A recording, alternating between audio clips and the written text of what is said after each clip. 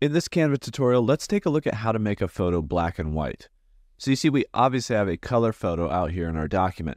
And when we click on the photo, we can go to Edit Photo, and we have two different ways of doing this. Number one, you can adjust your color and saturation, brightness, and contrast. We'll look at that in a second. But number two, quicker, you can even just apply a quick effect. Underneath filters, we can click See All. And then if we scroll down on these filters, we'll actually find a mono section. So you can click through these different black and white filters and find one that's close to what you want. Now, if you want it not fully black and white, just very desaturated, you can actually pull the intensity down of this photo. And so then some of the color will show through. I mean, the filter. You're pulling the intensity down of the filter, not the photo, but the color will show through to a certain degree. So if one of these works for you, you can choose one of these as your black and white. However, if you don't want that, we'll select none on the filters to back that out.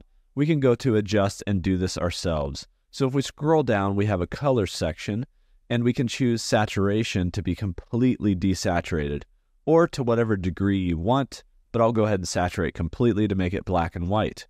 Now from here, we have texture options like sharpness and clarity that we can push one way or the other.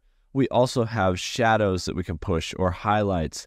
Same with the blacks and the whites and even the contrast. So you can create and customize the black and white image uh, detail here with this adjustment panel.